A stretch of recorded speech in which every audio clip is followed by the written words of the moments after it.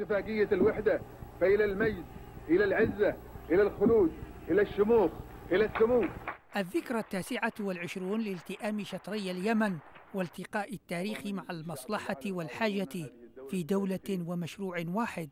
الثاني والعشرون من مايو لعام 1990 يوم رضوخ النظامين الحاكمين في شطري البلاد للإرادة الشعبية وتحقيق حلم اليمنيين بدولة يمنية واحدة على نهج ثورتي سبتمبر وأكتوبر دشن عهد الوحدة بالتعددية السياسية والانفتاح السياسي والاقتصادي وبدا وكأن اليمنيون يعيشون أزهى أيامهم.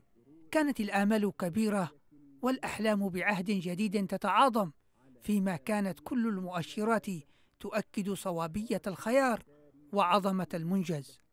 لم يعمر الفرح طويلا إذ سرعان ما عادت أطماع النخبة الحاكمة وانقساماتها لتحفر حول أساسات المشروع الكبير في الطريق إلى انهياره.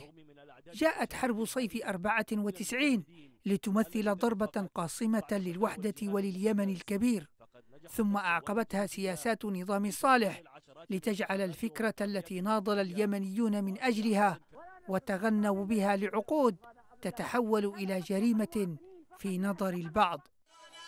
سياسة الإقصاء والاستبعاد بالإضافة إلى انسداد أفق الشراكة والتبادل السلمي الذي انتجته ممارسات نظام صالح. كل ذلك عجل باندلاع الحراك السلمي الجنوبي في العام 2007 للمطالبة بإصلاح مسار الوحدة ومعالجة آثار حرب 94 إلا أن صالح لم يكن يصغي لأحد وقتها وهو يهندس مشروعه الخاص بتوريث سلطته لأبنائه.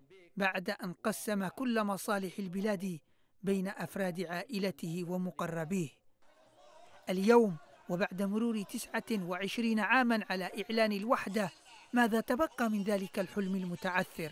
يدفع هادي بمشروع اليمن الاتحادي كصيغة بديلة للوحدة اليمنية تم الاتفاق عليها في مؤتمر الحوار الوطني وتضمن التوزيع العادل للسلطة والثروة إلا أن الحرب القائمة وآثارها تبدو الآن وقد عصفت بها أو غيرت بعض ملامحها على الأقل.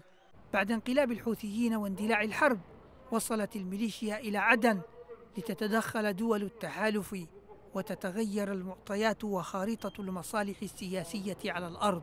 يعزز الحوثيون وجودهم على الحدود الشطرية فيما تعمل دول التحالف على دعم وتمكين الكيانات العسكرية والسياسية الانفصالية في المناطق الجنوبية.